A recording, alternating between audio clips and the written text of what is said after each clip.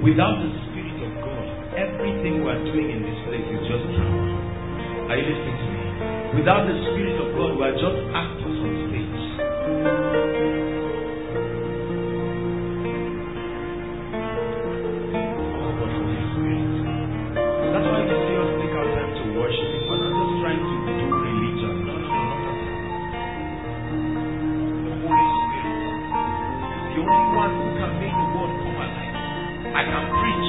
We can minister, we can prophesy, give words of knowledge.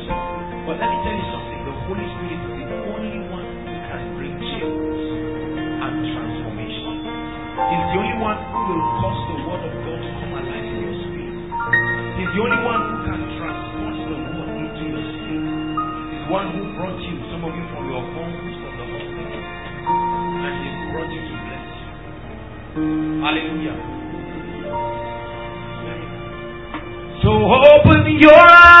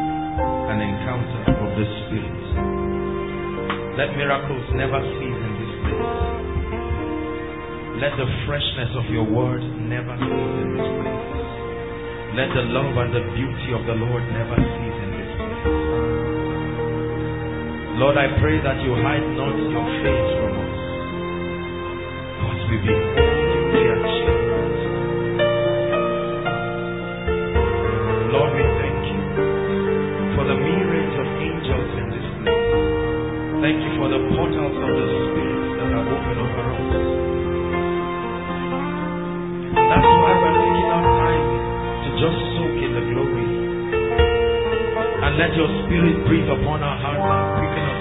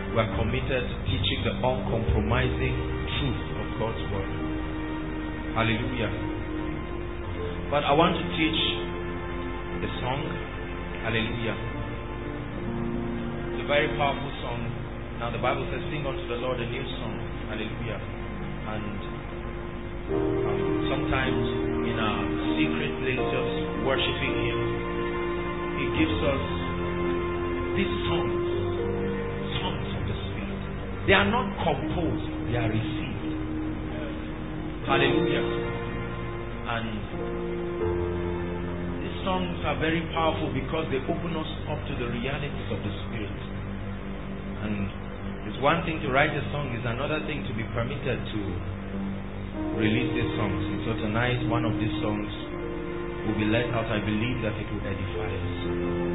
It's a very simple song. Hallelujah. Can you help me? Can you please write it? It's not this slow Yahweh, but then it's, it's like it. Hallelujah.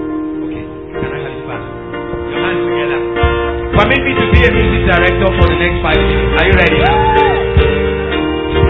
Very powerful, very simple song. I'll sing it and then um, allow me to sing it once. Yes, Lord. Yes, Lord. You are the King. There is no other. Yes, Lord. Yes, Lord. Yes, Lord. Very simple song. I'll sing one more time. Yes, Lord.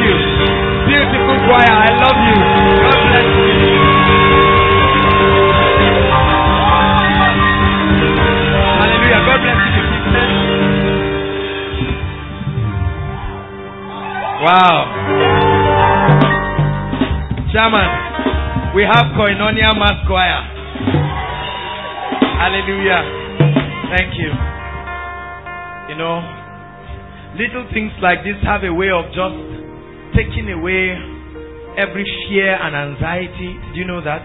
The Bible says a merry heart doeth good like medicine. Sometimes we just become children in His presence and jump and sing I know for some of you it's a bit embarrassing considering your status. I apologize. But I realize that the greatest in the kingdom is the child. There is none other. Yes, Lord. Yes, Lord. Help us in the name of Jesus. All right, very quickly. Let's go to the word. Lord, we thank you. Let your word come with power. Let it come with grace. Let it come to change our hearts in the name of Jesus. I'm teaching on a very powerful subject. Very, very powerful and critical. Um, the Bible makes us understand in Ephesians chapter 4 from verse 10 down to 12. Hallelujah. That when Jesus resurrected, he gave gifts unto men some apostles and prophets and teachers, evangelists and pastors. The Bible says for the edification, the building, the equipping, the preparation to make ready.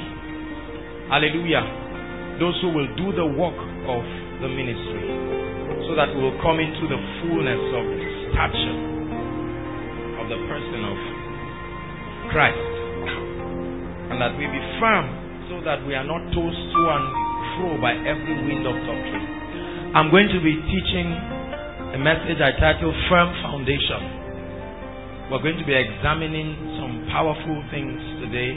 Firm foundation. Very quickly, Luke chapter 6.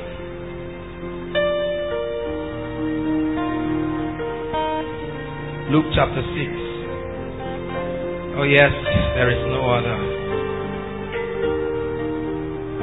There is no other. There is no other. Truly, there is no other. Luke 6, verse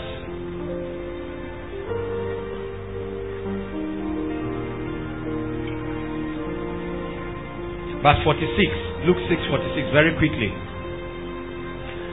And why call me Lord, Lord, and do not the things which I say?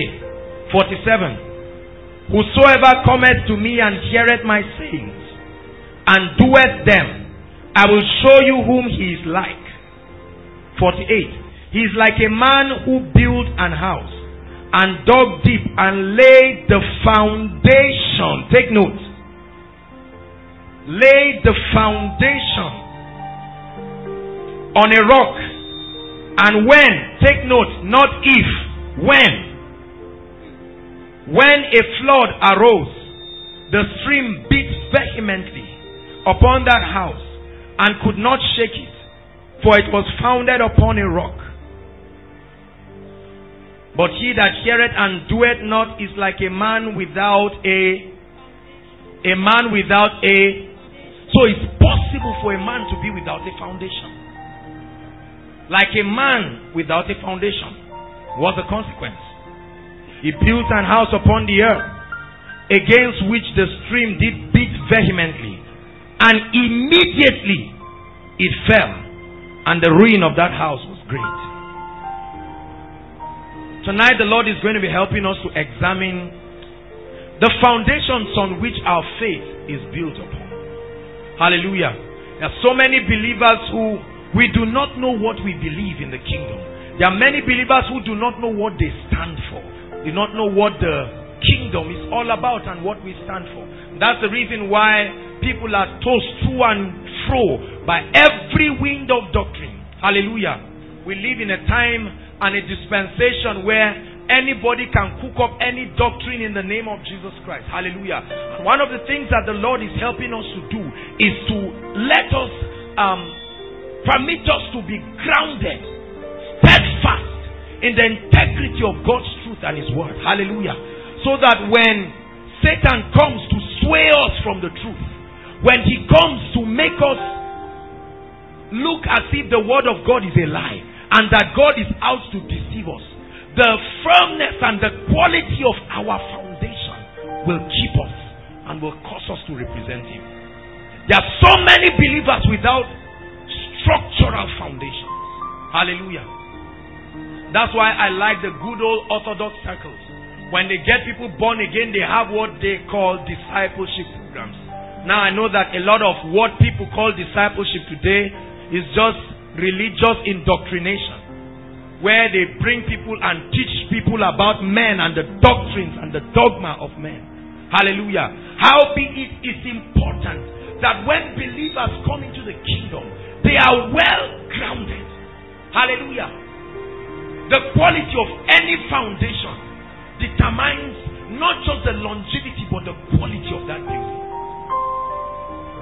Hallelujah. So, very quickly, we're going to be talking about firm foundation.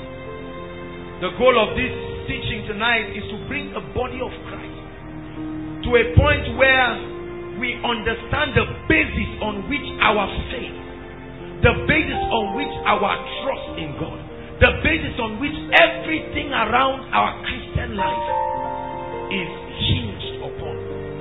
For when we understand that, it will be impossible for Satan to sway us. There are so many believers that have given up in the midst, on the face of certain challenges. That's because our foundations are faulty. Many of us, our foundations are built on religion and not truth. Hallelujah. There are so many believers who have their foundations built upon the doctrines of men and the, the, the understandings of men. Many of us, our doctrines, our, our foundations are built upon denominationalism and uh, uh, traditions of men and legalism and all of these things. But it's important for us to re-examine our foundation that we be grounded. Hallelujah. Now, very quickly, what is a foundation? We are teaching. Please, if you have something to write, write. I want to encourage you. Every time you come here, we are coming here to learn. God's word. Hallelujah. So come with something to write. It's very, very important. Many of you just throw with pieces of papers in your pocket. Then you just bring it out and you see where you wrote your list for the market. Gas, stove, kerosene. You just draw a straight line. And then you are writing something that is supposed to change your destiny. Invest. There's, there's a preparation. When you go for a lecture, you go with your notebook. It tells you that you value what the lecturer is about to say. And that you realize its importance to equip Hallelujah. Don't feel bad if you didn't bring anything. There's love. Love covers everything in this place. Hallelujah. So, what's a foundation? Very quickly. The dictionary defines a foundation as the lowest load bearing part of a building. The load bearing part of a building. Typically below ground level. So, a foundation is not on the zinc foundation is below ground level. The load bearing part of a building is called its foundation. The load bearing part. That part of the building that is responsible for taking all the weight. Another definition. A body or ground on which other parts rest or are overlaid. Hallelujah. That means when we pile books upon this substance, this becomes the foundation, the platform on which all other structures are laid and are lifted. So that's very, very important. That means the foundation of your faith in Christ is the platform on which every other revelation, every other understanding, every other pursuit will rest. That means when your foundation is faulty, believe me, no matter the quality of the building, it is liable to crash. Hallelujah. So many believers who do not understand the concept of foundation and the importance of understanding the things. What did Jesus teach? Hear me. What did Jesus teach when he came to the earth? What was his message? What did he leave with us? What was his um, mandate towards the church. These are the things, the pillars on which our Christian race will be founded upon. For many people, their foundation for the Christian journey is just success and money. So many believers whose foundation is money. They were lured into the kingdom as a bait to become prosperous. Hallelujah. Now there's a place for wealth and prosperity. It's part of the packages and the blessings of redemption. But that is not a foundation. Are you listening to me? It's not a foundation. This light is beautiful. It's illuminating the place. It's very important. The microphone is beautiful. But these are not the foundations of this building. Are you listening to me? So that a, a doctrine or a teaching is not a foundational one does not mean it's not relevant. How be it when the, the Bible says if the foundation be destroyed, what can the righteous do? Hallelujah. So it's important because there are many of us who have great revelations, but they are resting without foundation. We know things about the realm of the spirit. We know things about angels. And then because many believers do not have correct foundations, we begin to dabble into elements of witchcraft, into metaphysics, Christian science, new age theology, in our bid to understand the reality of the person of Christ. We begin to explore this, in quote, mystery called God. And many people land themselves into metaphysics and Christian science and new age doctrines, all in an attempt to understand God. Hallelujah. So it's important. But when you understand the basic foundation of who God is, many of you who study physics and all of this, they teach what we call SI units. Hallelujah. And every other um, unit that will be derived is only a derivative of these things. Is that correct? And So we must understand the tenets on which the Christian faith is built upon. The benefits of having a firm foundation is number one, it gives you a rock solid Christian life. Gives you a solid Christian life. That your Christian life is not based on religious doctrines of men, my church, your church, my pastor, your pastor. This is what I was taught. This is what I knew growing up. No. A firm foundation gives you a rock solid life. Number two is the antidote to wrong antichrist doctrines. The antidote to religion, the antidote to falsehood. When you have a firm foundation, you will have discernment enough to know that no matter how powerful a teaching, how many of you, okay, well, I, I don't want to ask that question, but I know that there are a number of people who were involved in all kinds of yoga, zodiac, new age things. And let me tell you, if you're looking for, in quote, revelation, go to the new age. You will see revelations that will you. Hallelujah. Confucius came with his own Rhema. Buddha has his own. All kinds of people have their own Rhema. And they look logical in quotes. But when we have a firm foundation, it becomes an antidote to error. Let me show you something the Bible has to say. Turn with me very quickly to First John chapter 4. There's a caution that is so important, especially for our generation.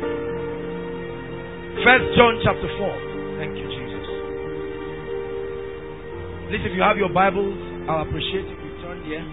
First John, if you don't have, just share with someone. First John chapter 4. Beloved, believe not every spirit. Is it in your Bible? Hallelujah. But test the spirits, whether they are of God, because many false prophets are gone out into the world. Verse 2. By this Know ye the Spirit of God. Every spirit that confesseth that Jesus Christ is come in the flesh is of God. And every spirit that confesseth not that Jesus Christ is come in the flesh is not of God. And this is that spirit of Antichrist, of which ye have heard that it should come. And even now, already is in the world. In America, in Nigeria, it's in Zaria, it's in Abuja, Abuja, it's in Port Harcourt, it's everywhere. And several believers, they truly love God, but because their foundation is not firm, many people have left the doctrines that Jesus left with the church. Many people have left the message that Jesus gave the church. Many people have derailed from the expectation that Jesus has for the church. And we are doing all kinds of things. Preaching different kinds of gospels. Being motivated by different kinds of things. And tonight the Lord is going to be helping us to examine our foundation. Say amen. Hallelujah. Thank you, Heavenly Father. Now, there are two things I'll be doing very briefly. Number one is to we are going to be examining very briefly. I'm not here to create confusion and talk. But very briefly, we're going to be examining what has gone wrong with the church, especially with respect to several doctrines. There have been several doctrines, and then we will we will end by looking at what I call the Christian statement of faith. How many of you have gone to a website and then you see statement of faith? A summary. Many of you are or were in the Anglican. Let me see your hands. Hallelujah. When I was in the seminary, we had something we called the Apostles' Creed. How many of you still remember? I believe in God, creator of heaven and earth, his only begotten Son. Uh-huh. Some of you have forgotten. New creation has carried you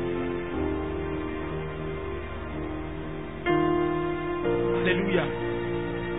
And every single day, although we're doing it religiously, but little did we realize it was putting in us a summary of everything that Jesus is and that he represents the church. Very, very powerful. And tonight, we're going to be examining very quickly. Now, because of lack of firm foundation, We've had people use all kinds of bases to interpret different things in scripture. Hallelujah. People have misinterpreted several things in scripture. And as a result, has led to movements, has led to patterns, has led to doctrines and errors. And several believers are suffering. One of it is the issue of appearance. Hallelujah.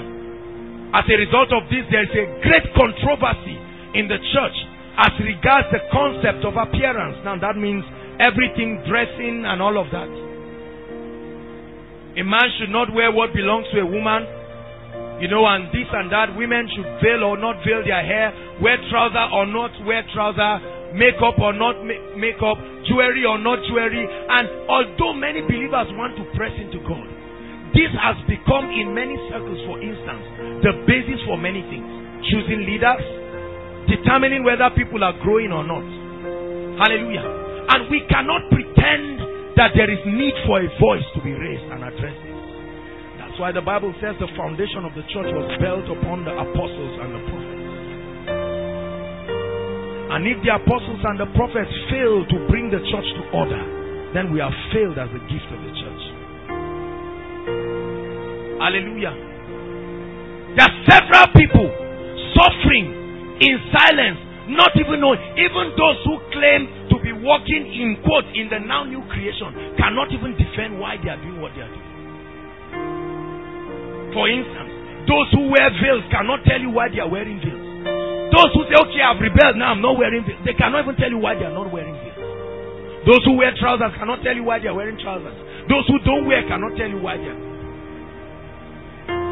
There's all kinds of confusion in the body the church is full of a bunch of arrogant and religious people who claim they understand many people who believe they are the Holy Spirit in the church. And all kinds of people have written devilish books born out of New Age and the doctrines of men. And several ministries have used it as their patterns and they have discipled many people generations into error. Bible says, Nevertheless, the foundation of the Lord standeth sure, having this seal. The Lord knoweth them that are his. And let every man that name the name of Christ So God has his own foundation. There are many ministries that have built their foundations. Many doctrines, many pastors, many church leaders, many apostles, many prophets have their doctrines, but the Bible says there is something called the foundation of the Lord. Nevertheless, in spite of all kinds of foundations we have, there are many believers, for instance, who have been made not to press into intimacy with the Holy Spirit. Every time you pray, you sense the presence of God. And every time you go and ask the elders, they tell you you are demonic. And these experiences have derailed us from koinonia, intimacy with the Holy Spirit. Because the people cannot understand what is happening, they call it wrong. That's what happened to the scribes and the Pharisees when Jesus came. They didn't understand the new move and the pattern that the Holy Spirit And several people have been misled and misguided. There are many people who believe that the apex of their spiritual experience should be the apex of the church's spiritual experience. So that when there is any spiritual experience that defies their own personal experience, they term it as error. And they write books to defend what they believe is their knowledge. But there is no man who is a custodian of wisdom except Christ himself. All of us are students in the school of the Spirit. So instead of arguing and bringing stupid opinions and boldly writing books and making claims and misleading people, I cannot tell you how it pains me when I watch people walking in error and religion. There are many doctrines, there are many religious circles that do not believe, for instance, in the ministry of the Holy Spirit. There are many religious circles, for instance, that do not even believe in the Trinity.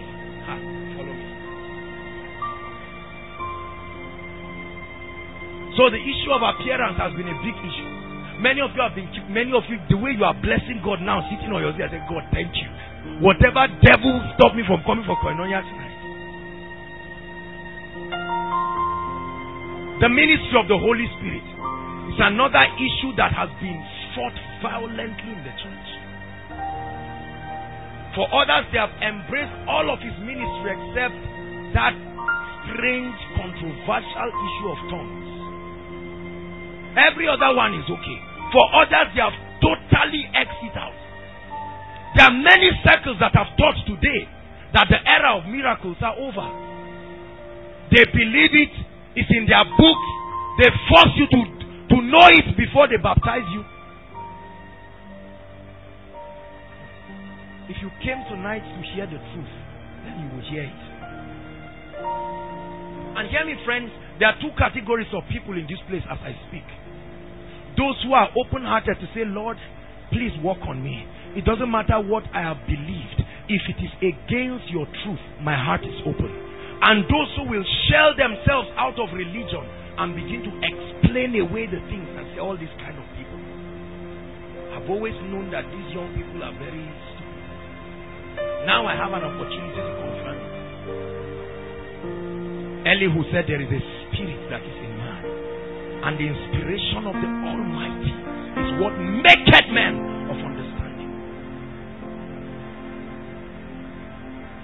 Hallelujah. And then the concept of sin and holiness. Hmm. We have certain people who believe that you walk your salvation with fear and trembling.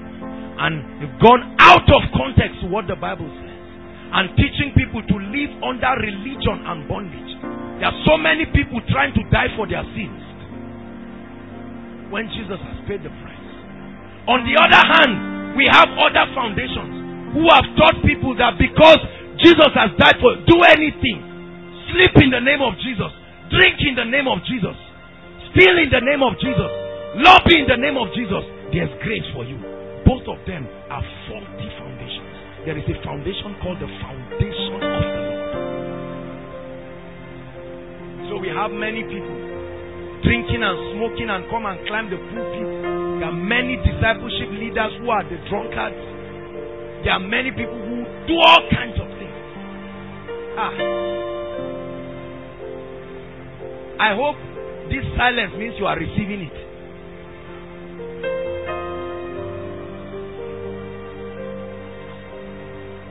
Hallelujah.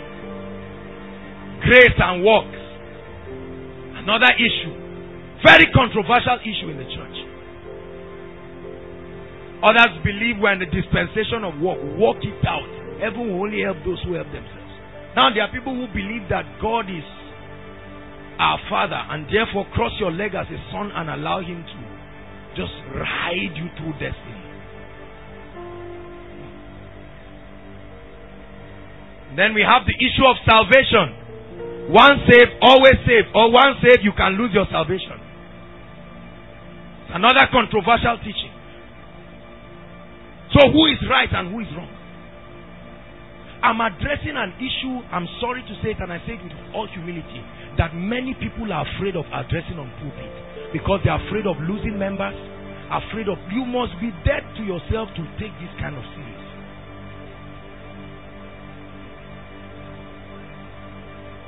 At the end of this meeting now, there are going to be different stories and opinions. Listen, friends, God didn't ask us to become philosophers. He just asked us to become obedient to His word as the Holy Spirit. We have complicated the reality of God's word. Let's look at a few others. The doctrine of the rapture. We have others who have taught that there's nothing called rapture. No rapture, no Jesus, and and and truly, um, it's true that there's no word rapture in the Bible, as it were. Okay, I've not I've not stood in any side. See, I'm giving two sides, so I'm still neutral. So we have those who preach the doctrine of the rapture. That there is an event that is called the rapture. Others are saying there is an event that is not called the rapture. Another thing. Then we talk about the pre-tribulation, the mid-tribulation, and the post-tribulation. I'm showing you different kinds of foundations that we have in blessed kingdom of our Father. Others have taught that the church will be persecuted. And then, when we are persecuted and everything is over, Christ will come and take the church. That's what we call post tribulation. Others are saying we'll be persecuted for a period of three and a half years. After that, in the midst of it, Christ will come and rapture the church. That's what they call mid tribulation. And then others say we are not going to face it. So who is right? Because every one of us belong to one or two of these sectors. And you have been asking questions.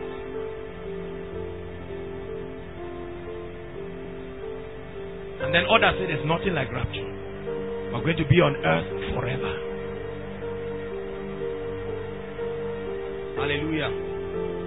It's encapsulated in a popular doctrine called the doctrine of immortality. Then the concept of the Antichrist. Who really is the Antichrist? This Antichrist thing. Many of us cannot sleep. We have been punished because of certain tapes you made a mistake of buying in bookstores. And from that day till now, your mind is not back because you had a faulty thinking about the Antichrist. I remember one of my aunties, I shared the story very humorously. Uh, I think in 1990, 99 or 98 or something. 99 minding my own business, loving the Lord, this woman called me to her room and showed me one book, Latin book. And they calculated everything and it showed that Pope John Paul, the one that has died though, that he is the Antichrist. Based on certain Roman numerals. And it arrived to him. Hallelujah. Now she said, look, she's already rehearsing. She stopped eating meat, stopped taking milk. Now listen, we're, we're, we're examining foundations tonight. She stopped taking so, several things and told me, I said, why? She said she's preparing herself. Nobody knows tomorrow. Ah. And so she was incorporating into the fellowship out of love and sincerity. It makes sense to me. No meat, no milk. Ah. What else will you eat? So who is the Antichrist? Been several teachings. You know why I'm saying this? Because many of us seated here were taught one or more of these things. And how many of us truly desire to grow spiritually? How many of us are ready to check our foundation and once and for all build upon something that is true of God? That's what I told myself years ago. I began to say, Lord, examine myself. And I found out that my life was built upon faulty things. The concept of prosperity and poverty, another foundation. There are many people that preach that prosperity is the way forward. I mean, if you are not prosperous, forget it. It's an insult to redemption. There are others who have preached that if you are poor, that's the way forward. God likes it. It's a nice life. A quiet life. You are not open to immorality. You are not open to pride. It's very nice. In a simple one bedroom, you and your wife and then one or two children. Why? Having five children is even a prosperity. You have two or three. According to a, moderate and a contract life.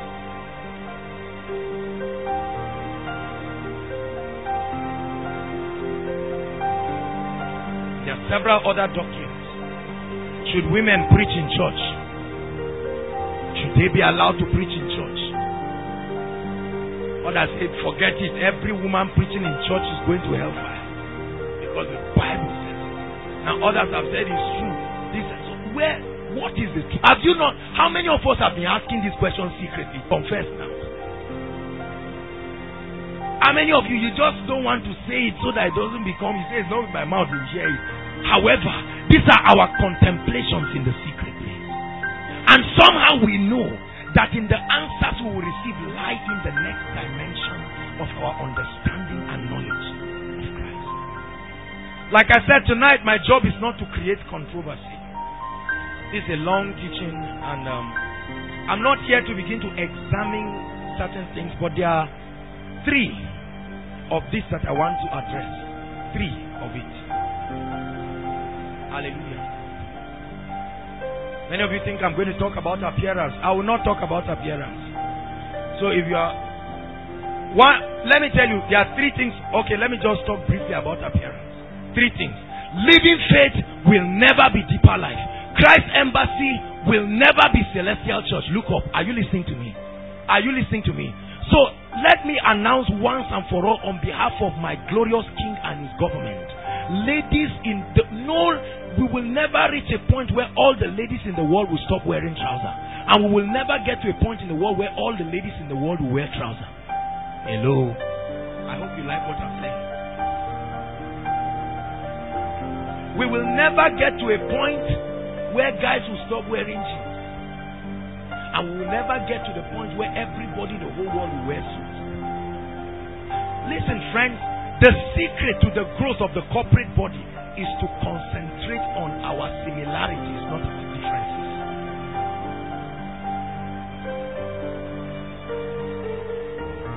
Hallelujah. So, should I say something at least about appearance? All right. Very quickly, we'll look at just one scripture. I didn't want to touch it. Hey, Holy Spirit, You really want me to touch this? I will touch it if you can give me the popular scripture that says, Let a woman not wear what belongs to a man. Who can give? Calm down. Deuteronomy what? Alright, let's go there and see what the word of God has to say.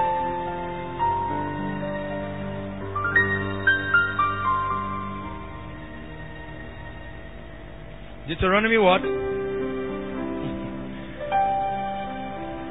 oh Lord, I pray that your word will come with power, set men free. Many believers are saved, many are filled with the Holy Ghost, but very few are free.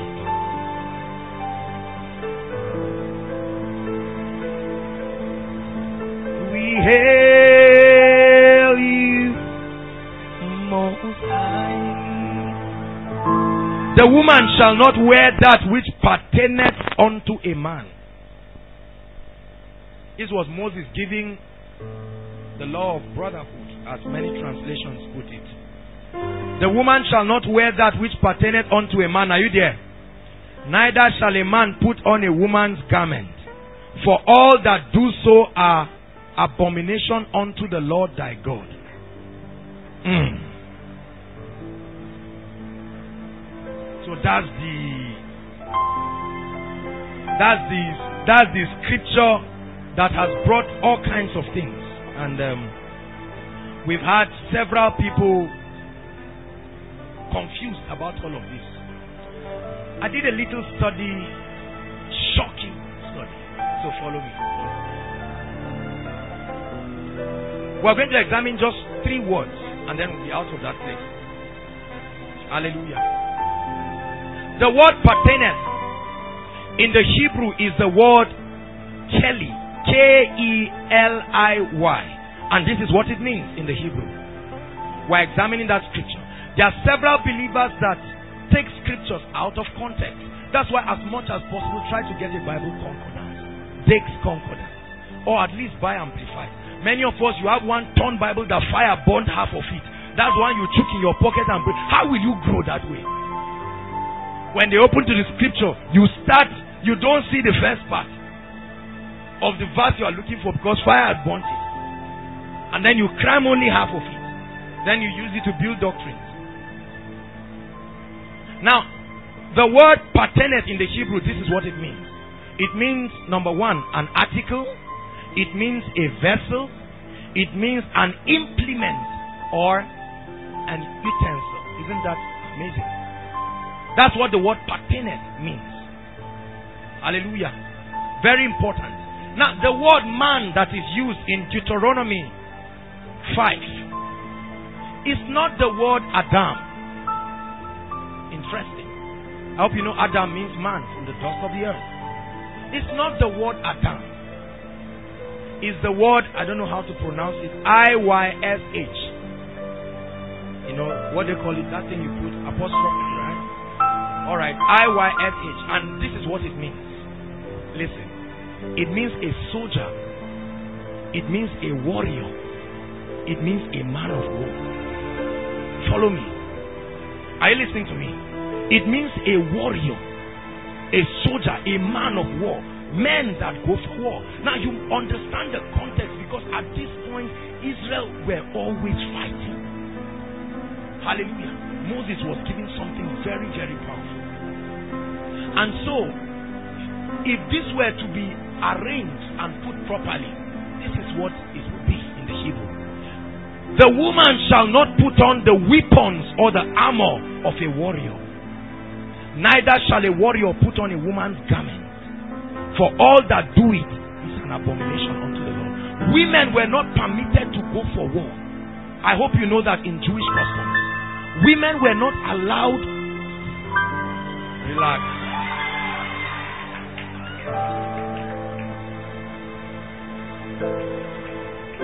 Women were not allowed to go for war. Listen, trust me, you are smiling. I'm soon coming back to the other side. I, praise God. So Moses was admonishing the people, preparing them. It was an abomination according to the principles of the Jewish custom. That's why women didn't go for war. Scriptural proof. That's why Bathsheba was back at home. Hallelujah. When the people went for war. And David violated the principle because kings followed the people to go for war and he didn't go for the war. And so while he was meandering around his veranda, he saw the woman. Women were not, that's why till today in certain nations of the world, women, it's just necessity that has made women to join military. Are you listening to me? It was not part of the Jewish custom. That's why the worst kind of warfare is that you kill men, women, and children women and children were exempted. It's believed that when you capture the men and when you fight.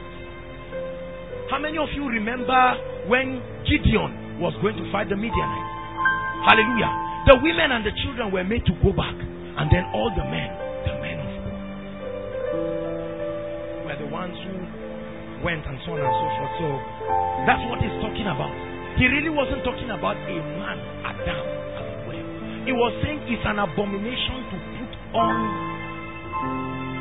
the robe of war. That when the men become so irresponsible to a point that the women have to wear an armorage and go for war, it is an abomination unto the Lord. Hallelujah. And so these things were taken, and then we began to use them to teach all kinds of things.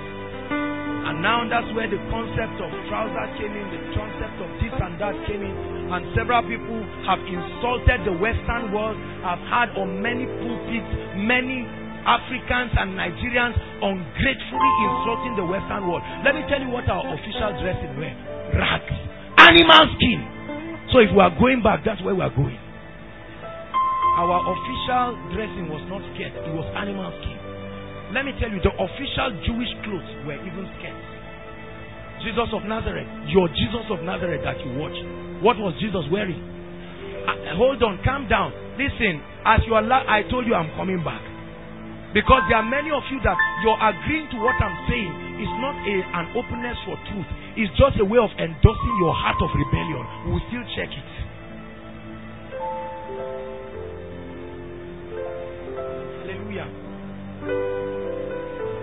Many people have been misled.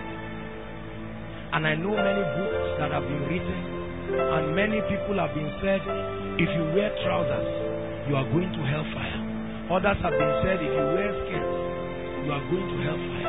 You are going to this, you are going to that. And sincerely, look at me.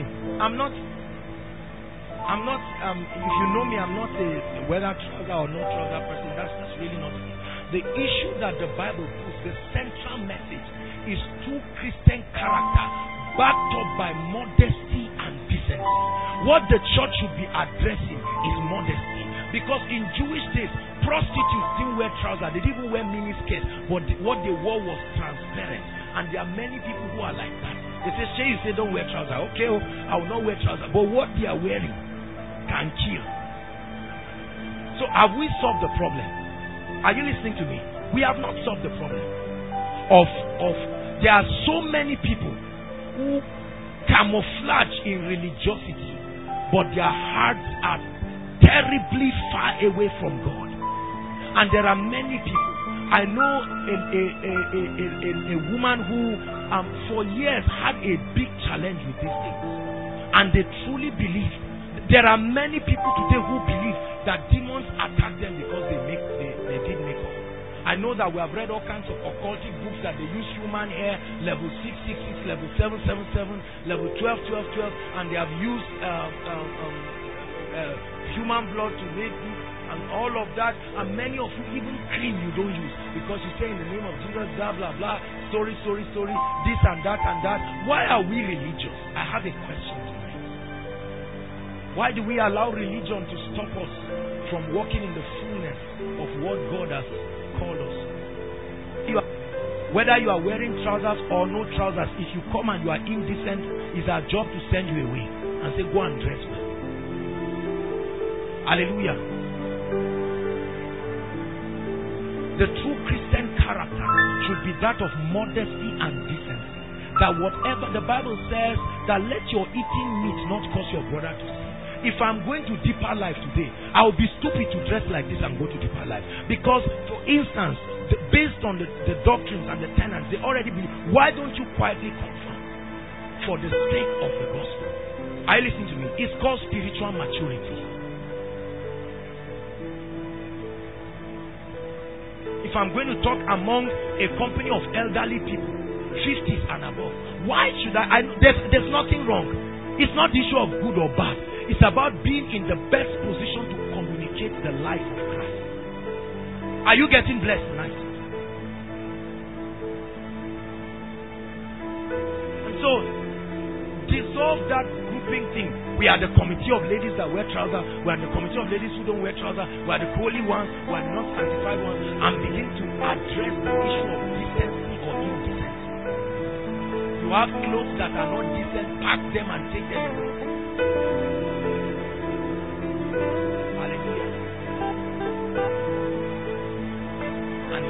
Like a true ambassador, one who represents the government of heaven. But for you to preach and say wearing trousers or not wearing trousers is going to be the solution is a vain pursuit. There are six billion people on earth with different kinds of mindsets. And can I tell you something? We are all going to heaven. So I wonder how we will behave in heaven when we're already hating one another because of this. Many people, if they have their way, they will tell Jesus Christ, create another supper. There is one big table, and all of us are going to sit down on that table. It's called the supper of the Lamb. So you better begin to love your brother right now. Because you may sit close to him at that supper.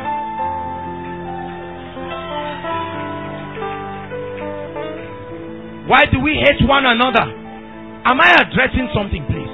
There are several people, there are several of you sitting down today that you have been stopped.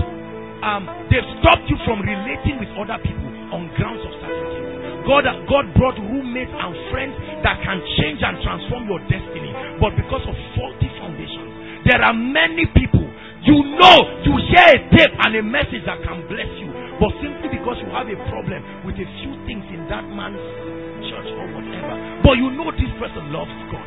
Just personal things you don't see. There are many of you that you are suffering from sin, you are suffering from all kinds of habits, and the Holy Spirit just points you to a message that was preached by W.F. Kumuyi. I say, Kumuyi, forget I'm a new creation man, I'm a this. And forget about whatever excesses, whether they wear earrings or this. Can you not open your heart and say, Lord, speak to me? I desire change more than anything. When we get that hungry, then we start forgetting. There are several people going to church is simply exploring to know those who are obedient to the word or not obedient by the standards of their foundation. So the moment we come to church, you're already frowning at everybody. The person sitting next to you puts perfume, and you're like, oh God, this of.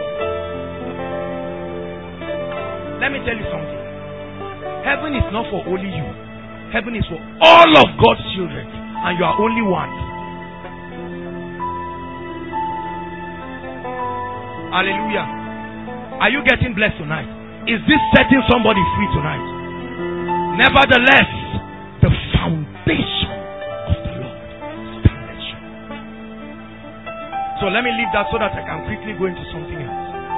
I hope that at uh, another platform we'll discuss the issue of the doctrine of eternal salvation. I'm just touching the ones that matter. Two or three. The doctrine of eternal salvation.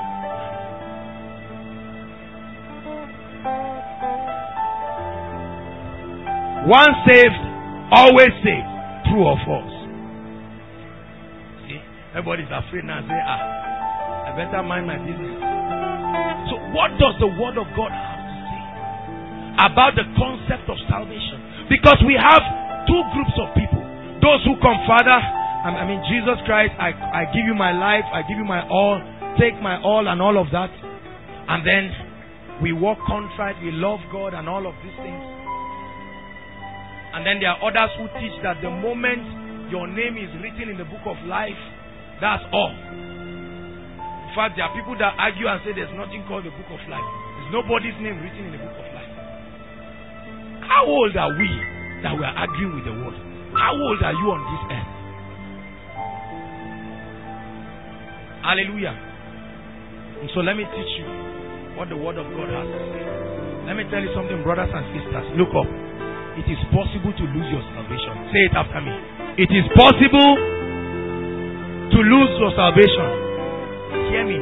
Don't let anybody preach any. Let me show you something the Bible says. Help us, Holy Spirit. Galatians chapter 1, verse 19. Paul was admonishing the church.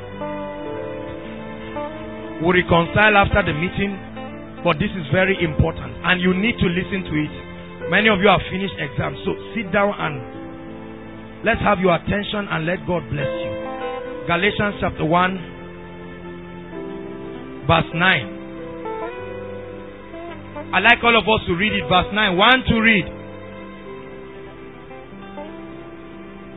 If any man preach any other gospel unto you than that which we have received, let him be accursed. Any of you say, ah, my prophet received it from the Spirit. Turn with me. Second Corinthians 11 verse 4. Scripture to address your man of God. Now please, I'm bringing this out in love. Are you listening to me? We're not trying to condemn people or say this and no, no, no, no, no. We're not. I used to believe a lot of these things until I opened up my heart for God to help me to. So, Second Corinthians 11, verse 4. I like the word of God to speak for itself. That's why I'm saying open it. Are you ready? Verse 4. One to read. Preaching another Jesus, whom we have not preached, or if ye receive another spirit, which we have not received, or another gospel which ye have not accepted, ye might well bear with him. Now look up. The word bear with him doesn't mean to believe him. Because that's what a lot of people have been misleading. And so somebody comes on your pulpit and is misleading your members. And I say the Bible says, just bear with him. And it's confusing the people. Say, just wait a little while. And it's confusing people. He says, say it. Once saved, always saved. There are people who believe that because it was your spirit that was saved. As a believer, when you go and fornicate, it's really your body that fornicates. Your spirit is sanctified. And so you are going to, ah, it's what Yoruba people call wrong. That's a lie. It doesn't make sense. So we have several believers who are living in all kinds, and I tell you the truth, including ministers. I say it without any fear or favor. Men and women who have not kept the righteous precepts of God. Doing all kinds of things And we justify all the things we are doing. But if we are that generation that will usher in the king, then there is need to check our foundation. Because right now I was I was um, chatting with Alex. Many of you know Alex Jerry, and he was telling me the perversion that happens in America. In America right now, there's a show they do where the pastors are allowed to dance with some of the beautiful members. I mean, if you are not beautiful, just count yourself out of that list. They call it something. Yes, dance with the dance with the pastor. So you come just boogie with the pastor, and then when you dance is, is meant to foster social, cultural unity. culturally correct, scripturally incorrect.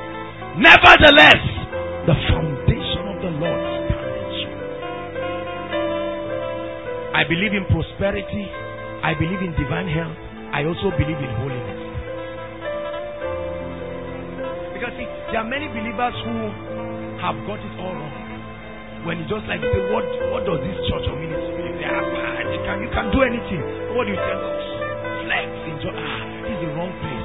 Here we, we iron people out, not out of religion. Are you listening to me? Not out of religion, but at the same time we have a responsibility under God to bring ourselves to a point where we are relevant in this society. Otherwise, let me tell you something. If we don't sharpen ourselves like this, our generation will miss it. In America right now, there's there's all kinds of perversion. Marriage in America right now is the union of two adults. Anything, well adult and a woman adult, fine. The Bible says, therefore shall a man, Adam, a man, leave his father and mother and not cleave to another man, cleave to not fish, not uh, whale, not not vulture, not bird, not your nice sweet German shepherd. Cleave to his wife, and they two, only they two, are permitted to be one flesh. Man and a woman cannot be one flesh. You can be business partners, yes. You can be co-ministers, co-laborers in the vineyard, yes, but not one flesh in terms of unity. Hallelujah. So it's interesting that your relationship be with the opposite sex if you are serious about marriage. Say amen. If you are considering marriage, make sure the person you are considering is not the same as you. Otherwise, something is wrong. Who, in the world would have believed that the church would need to address this? Elohim Adonai. Elohim Adonai. Elohim. Elohim Adonai.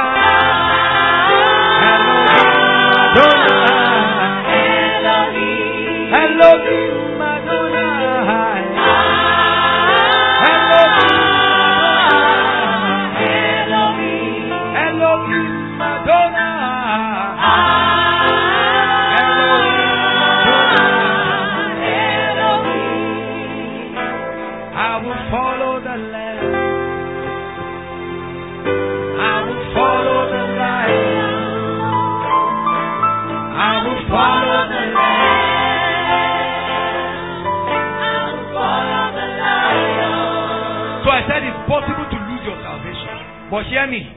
I've done something here. Forgive me. Hallelujah. While it is true that it's possible to lose your salvation, what many religious people put as a condition is wrong. That's the balance. We have established the fact that it's possible to lose your salvation. I beg you, friends, don't let anybody deceive you.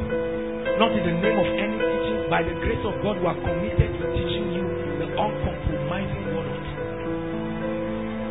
And everything you hear us teach in this place are things that we have taken out time to seek the face of God and seek knowledge from other members of the body. Hallelujah. It is possible to lose your salvation. But what is the condition? So right. Because a lot of people have put religiosity. And so when a believer, for instance, falls into the sin of fornication or falls into um, uh, robbery or something, a lot of people look at him and say, You have missed out. There are many churches that call the person officially and say, like Paul, let's hand this over to the devil. Look at me, please. Look at me. Once and for all, let me clear this. Paul did not die for your sins. Everybody, please look at me. Paul is not Alpha and Omega. There are many places that Paul himself confessed his inadequacies. Jesus Christ is perfect theology. The Bible says, looking up to Jesus. That he is the one who is the author. Are you listening to me? So, Jesus Christ is the perfection of all that we should be. We call him perfect theology. There are many of us, there are many people who followed all kinds of people, followed God's generals, followed all of this. I'm not saying there's, there's a place for mentorship and receiving people and all of that and trusting the teachings you get. Are you listening to me? But I'm saying not above Christ. Paul himself needed to give his life to Christ. Any other person that wants to lead you to the Father outside of Jesus Christ will only mislead you. I repeat, any other person who wants to lead you to Christ aside from Jesus Himself will mislead you. So, what are the conditions? Two conditions. Number one, two conditions to lose your salvation rebellion. Number two, idolatry. These are the two biblical conditions. I'm sorry I don't have time, I have to rush. These are the two biblical conditions that can cause a man to lose his salvation. Let me tell you what rebellion is. Look up. Rebellion is a willful, perpetual, and continuous um, violation of God's laws and principles. A willful, perpetual, continuous violation of God's principles in spite of the convictions of the Holy Spirit. Are you listening to me? Rebellion is not that I have a habit I'm struggling with and God is helping me. You know, it's, it's something I feel. For instance, let's assume, in, let's assume, cameraman, let's assume, hallelujah. Let's assume I have a problem sleeping around, for instance. All right? Then I'm sleeping around and doing every kind of thing. And I'm still a preacher. I listen to me? And every time I'm convicted in my spirit. And it's an issue. It's, it's an issue. I cry about it. That's not rebellion. Are you listening to me? That's a wrong habit that needs the power of God. That's why we take our time to fix miracle services. Where people come and the strongholds are broken. That's why we keep feeding you with God's word. But rebellion is when it becomes a, a state of iniquity in my heart such that I'm not even repentant about it again. For instance, like I've planned that after preaching, for instance, for instance, that after preaching like this, then ah, today is Friday, I'll go and cool off somewhere. After after after all the I mean all the stress of shouting and the rest. I go and have a nice weekend with a lady. I mean, I'm preaching, but it's, it's in my heart. I have planned it. I have purposed it. I know I'll do it in two weeks' time. I know I'll do it again. Another thing, um, stealing. All of these things. These are acts of iniquity and rebellion. You steal your roommate's um, money. And then when you steal the money, you laugh about it. And you are waiting for another opportunity to do it. There's no, the difference between rebellion and just having a challenge that God is helping you is that there is still the conviction of the Holy Spirit and that you are yielding to that conviction. Are you listening to me? So that Satan doesn't tell you, look, you are always doing this, you are going to hellfire. While you know that in your heart is a challenge, you are struggling. Paul himself had a struggle and is in heaven today. He said, The things that I want to do, I do not find myself doing them. But the things that I don't want to do, I find myself doing them. He said, Oh wretched man that I am, who shall deliver me from this body of death? It is for such that in Christ there no condemnation. But when a man comes to a state of iniquity, iniquity, where it becomes an issue, let's assume that, for instance, I consult, let's assume all the power and the manifestation that are happening in this place, there's some um, Babalawo agreement that is done somewhere. I will not be surprised if there are people who believe that that's what we use in this place. Kai. And a young man be having, how can young people be having word of knowledge, prophecies, man? There's something. oh, yes, it's true that there's something, but it's the power of the Lord Jesus. That's why we give him all the glory. Hallelujah. Very quickly, let's go. So, rebellion. And then number two, idolatry. Idolatry. Hear me, friends. Idolatry will take any man to hell. Idolatry is putting in the position of Jesus Christ. Anything, an idol, an object that is not him.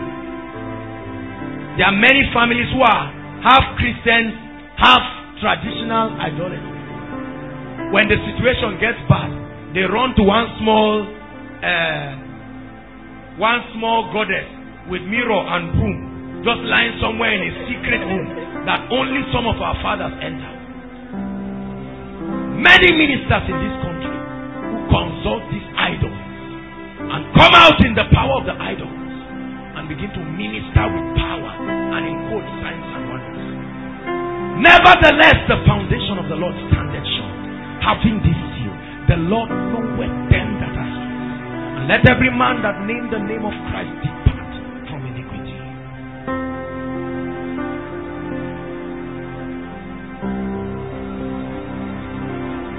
Hallelujah.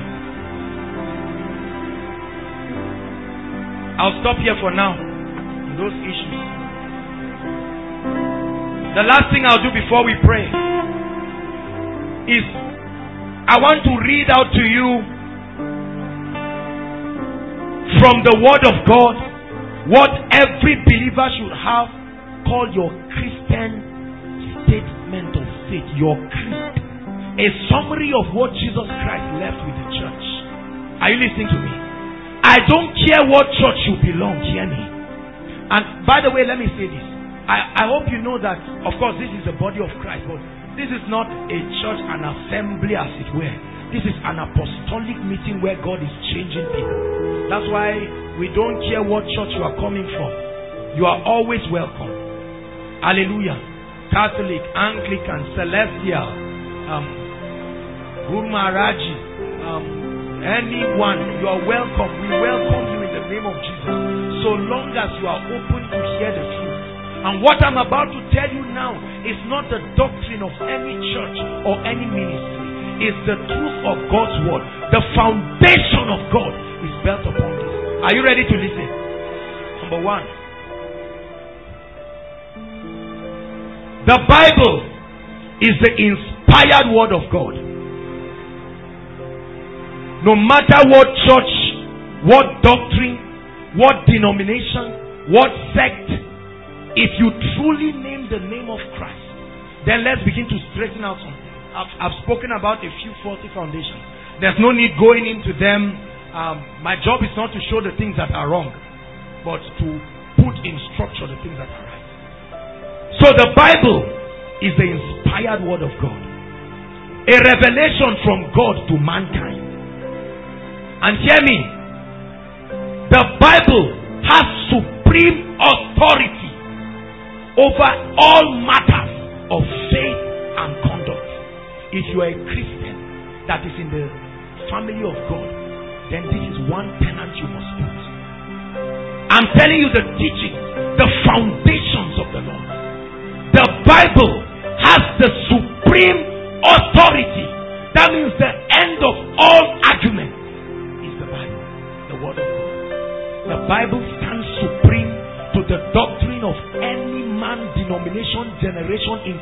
Joshua Selman. The Bible is superior to ENI, superior to Koinonia, superior to your church, superior to your pastor, superior to me, superior to every apostle, every prophet, superior to God's generals, superior to Paul, Philip, Nathaniel, I don't care, superior to anybody. The Bible, the infallible, irrefutable word of God. These are the foundations Second Timothy, if you want a scripture on that, Second Timothy 3, verse 15 to 16. And then First Peter chapter 2, verse 2. Very quickly. So that we can pray briefly. We're out of time. Number two, that there is one true God. There is one true God who has revealed himself in three persons the Father, the Son, and the Holy Spirit. Look up. Say after me the Father. Say it the Father, the Son, and the third one is not you. The third one is the Holy Spirit. Say after me the Father, the Son, and the Holy Spirit coexisting in unity. It's a mystery we do not fully understand, but we are sure of. That's why it's called faith. Are you listening to me? So I've had all kinds of teachings trying to explain the Trinity. There is only so much that the Word of God has to tell us about this. And we believe. Faith is that you believe even when you do not see. And we know, I know it's true. I know it's true. Hallelujah. There are two places in the scripture that reveal that the Father, the Son, and the Holy Spirit is there. For instance, in the encounter of Philip when he was about being stoned, the Bible says Philip was full of the Holy Spirit. So the Holy Spirit was living in him. Hallelujah. And the Bible says he looked up to heaven and saw the Father seated and Jesus standing at his right hand. So we see the Trinity there. Hallelujah. And then in the baptism of Jesus, we see that Jesus, the Son, the Word, who had become flesh, was standing and the Holy Spirit coming and a voice speaking from heaven. Hallelujah. So there's no point doubting the existence of the Trinity. Number three.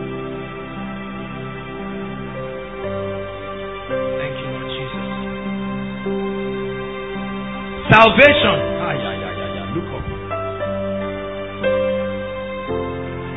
Christ is the only begotten. Okay, no, no, no. Listen, look up. Christ is now not the only begotten Son. Christ was the only begotten Son when he walked upon the earth. Right now, he's the firstborn among we, the brethren. So correct that in your statement of faith. Christ is not the only begotten Otherwise, you would say God has lied in the world. Behold, what manner of love the Father has bestowed upon us that we should be called as many as received him, he gave them power to be called. So we are joint heirs with him, partakers of his divine nature. Hallelujah. God incarnate called Jesus Christ. He was conceived of the Holy Spirit. Listen, the foundation on which the Christian faith is built.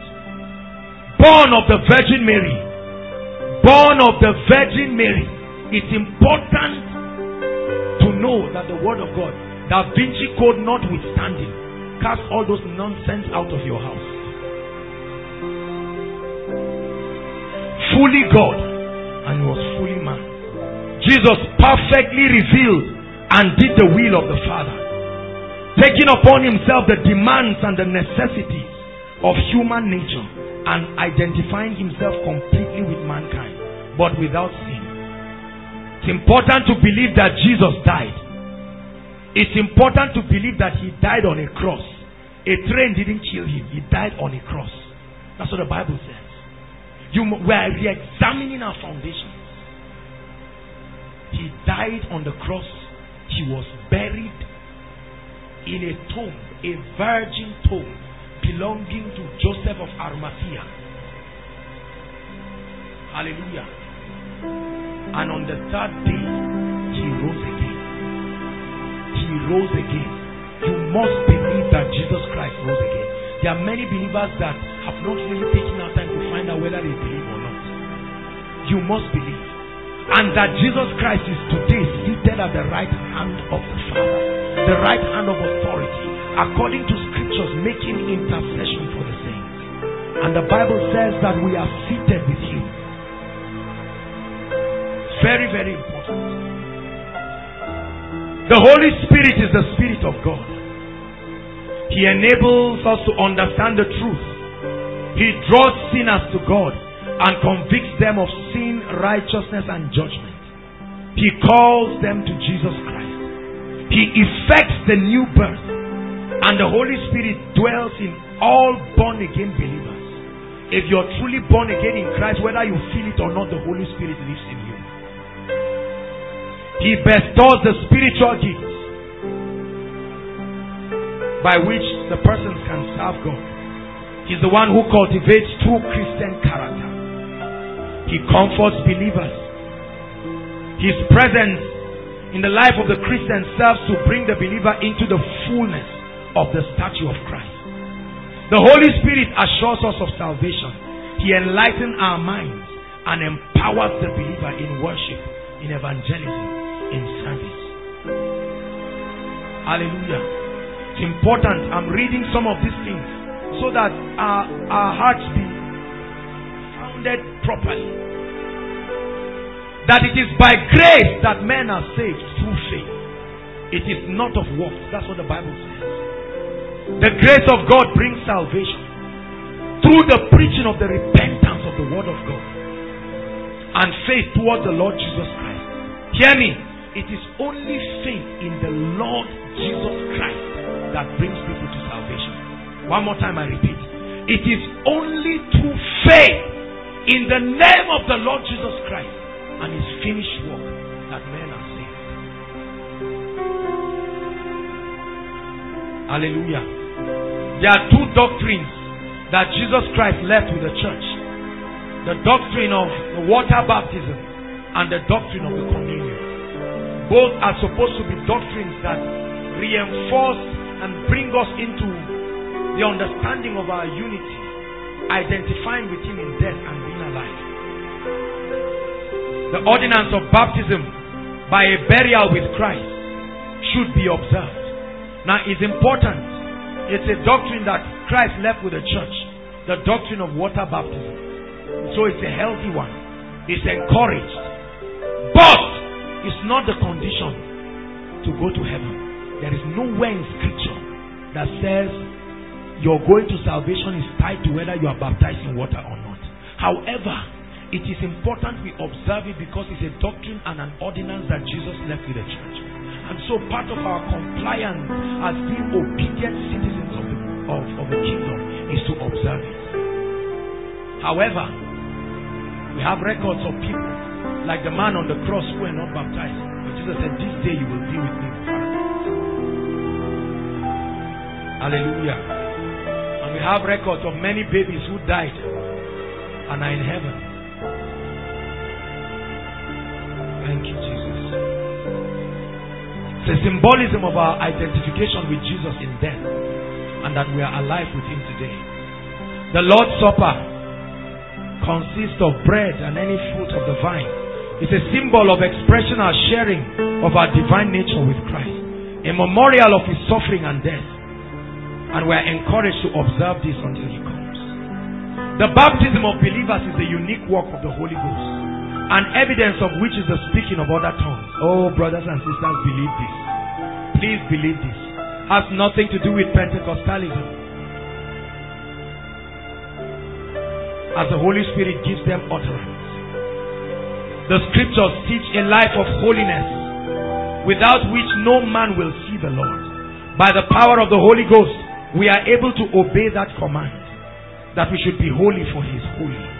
Entire sanctification is the will of God for all believers and should be earnestly pursued by walking in obedience to God's word, not the religious practice that people are doing. Another foundational truth. The church is the body of Christ. Look at me. Not your church. The church. Are you hearing me? Your church is only, they are only members of that universal body. Because there are many ministries that behave as if they are the only ones who represent the church. We are not giving that kind of devilish ministry. The church, the word ecclesia, is the word that is translated in English Catholic. The universal church, the bride of Christ. One man is not sufficient to be the bride of Christ. The church, in our fullness and our unity, we represent the bride of Christ. Hallelujah. The church is the body of Christ, the habitation of God through the Spirit with divine appointments for the fulfillment of the Great Commission. And hear me, every believer born of the Spirit is an integral part of the church, of the firstborn, which are written in heaven. Sorry, there's no time to give you all of the scriptures any divinely ordained ministry, look at me, any ministry, apostolic, prophetic, any assembly, any church, any denomination, hear me,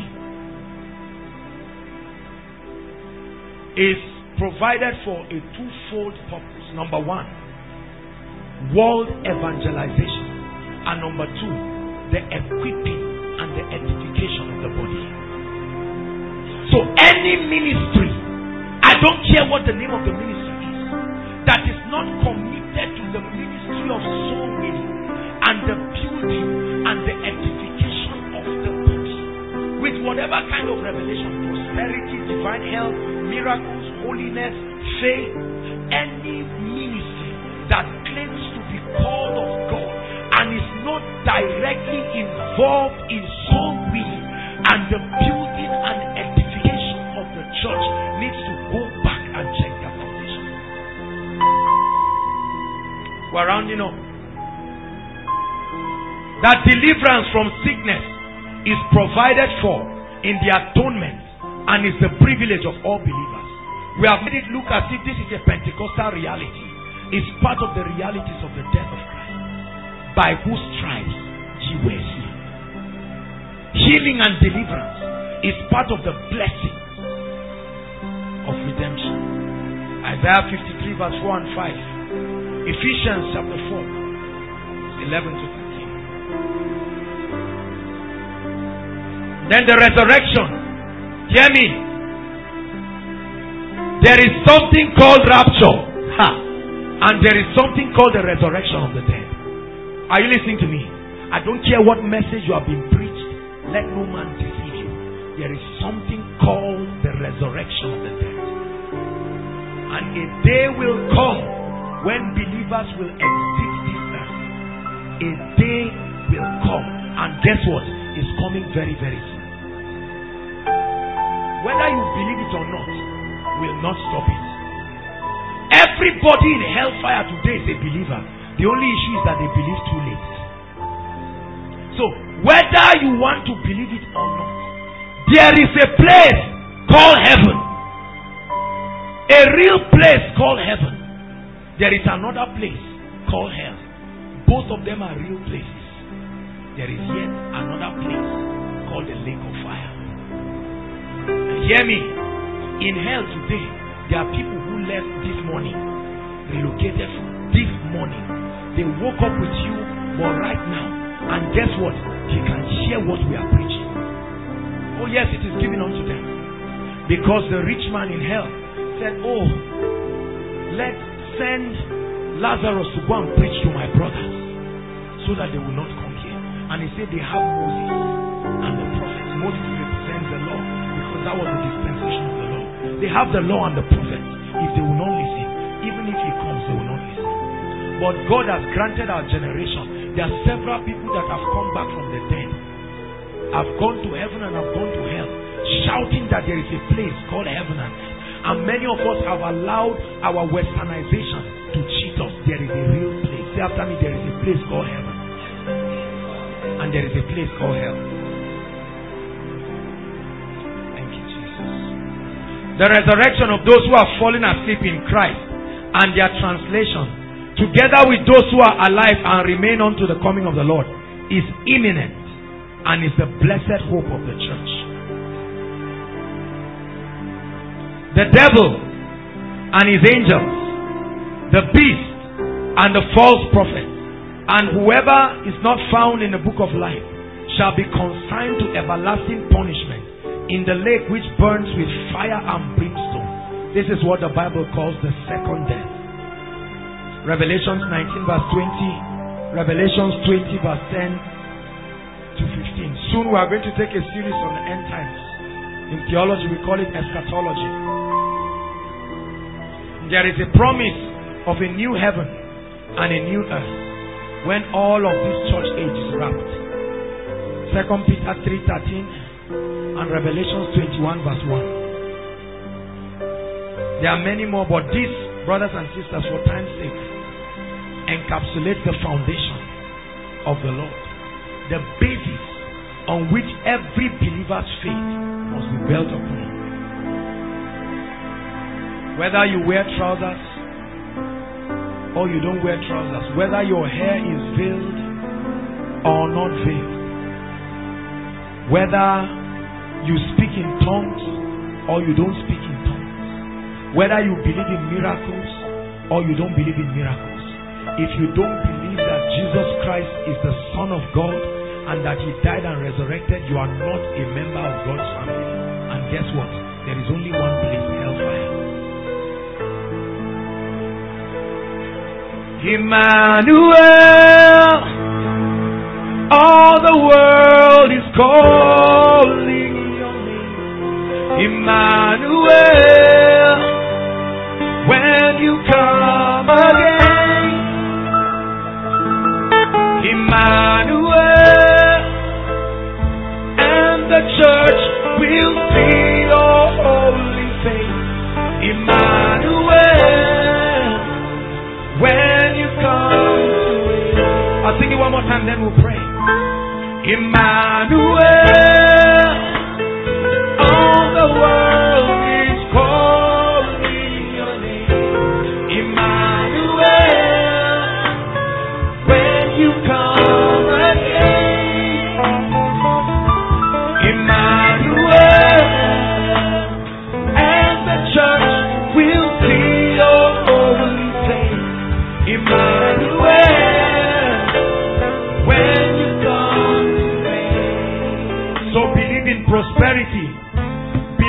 holiness.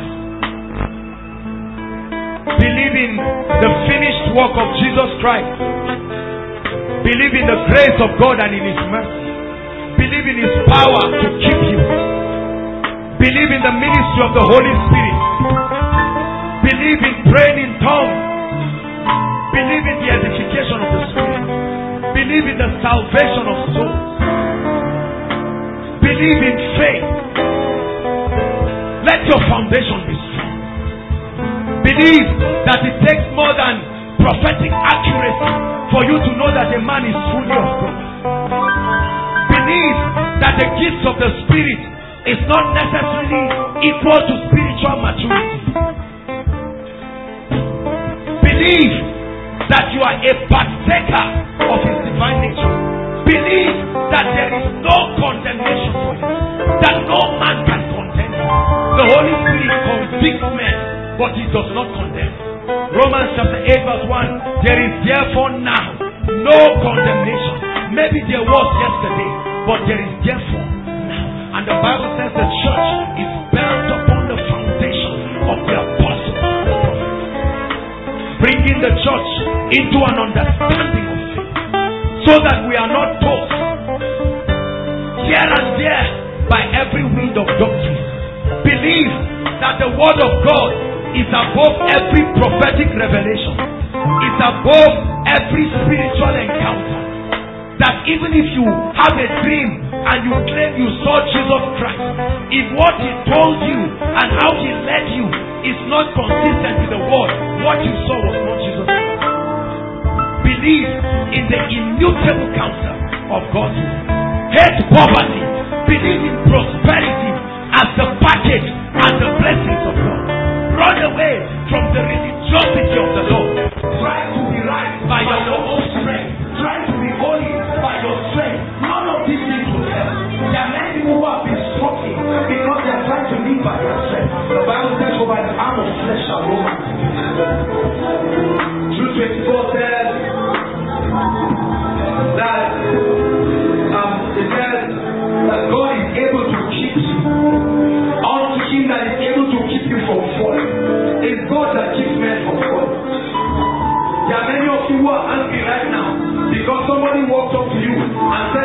the spirit that in one week you will die. Don't you know that the word of God is the most sure word of prophecy? The person may not be lying, but I need to know that he's telling you so that you will pray, not to lie down and say, let it happen. You must believe that you have the power.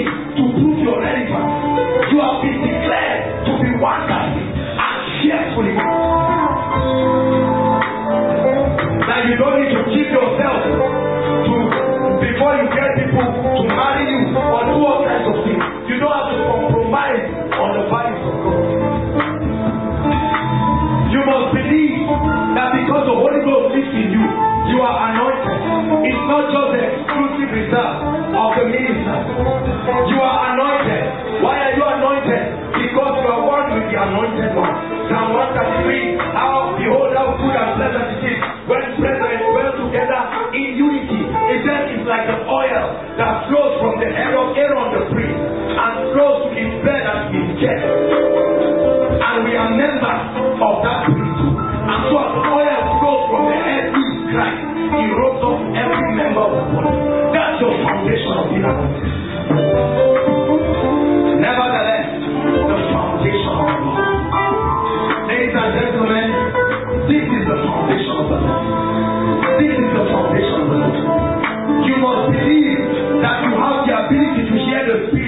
and to be led by him. He said, My sheep hear my voice. You must believe in the ability of the Holy Spirit. You begin to become led of the Holy Spirit the moment you, be, you believe. The moment you believe you are led, you are led. No matter how confused your life looks, you are led.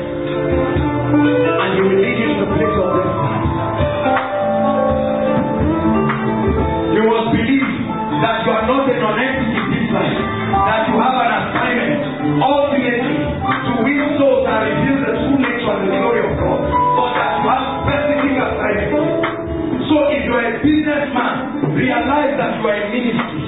If you are a caterer, realize that you are a ministry. If you are a student, realize that you are a ministry.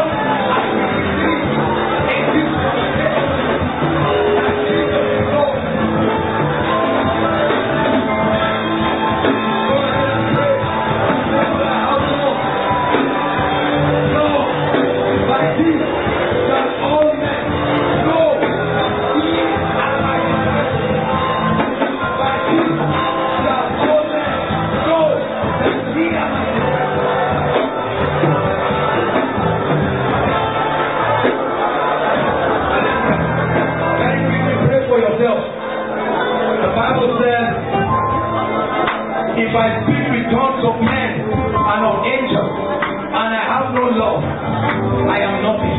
He said, if I know all these things, and all of these things, and I have no love, there are so many believers that live without love. When you hear that a member of a ministry or a member of a church or denomination falls, we rejoice. What a shame to the church. And tonight, we are praying and saying, Lord,